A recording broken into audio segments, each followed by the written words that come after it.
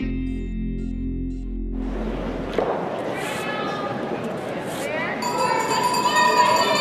been covering the Canadian Women's Curling Championships since 1999, and I've seen some unflattering clothing out there over the years, but it's nothing compared to some of the fashion faux pas before 99 that some of the women have told me about. I guess it goes back to 82. The men and the women at the time wore the same uniform. so the first thing we did was let's try and change that, you know, make it more feminine, make it more appealing. And uh, I'll admit along the way, uh, we made we made a few mistakes and gaffes. It was 1991. Our Manitoba outfits, we uh, were lucky enough to wear white pants that had no give to them whatsoever.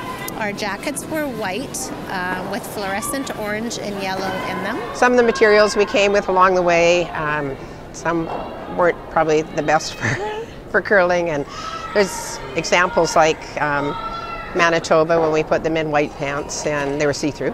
The difficulty with women's curling clothing is it has to do so much. It has to be functional, it has to be warm, and it has to fit so many different athletic body types.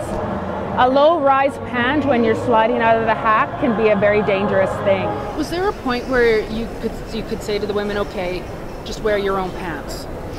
We had to say that because they wouldn't wear the other ones. When, when so, did that happen? Oh gosh, that would be, hmm, I'd be guessing, but you know, probably, you know, 15 years ago when we said, look, we give up.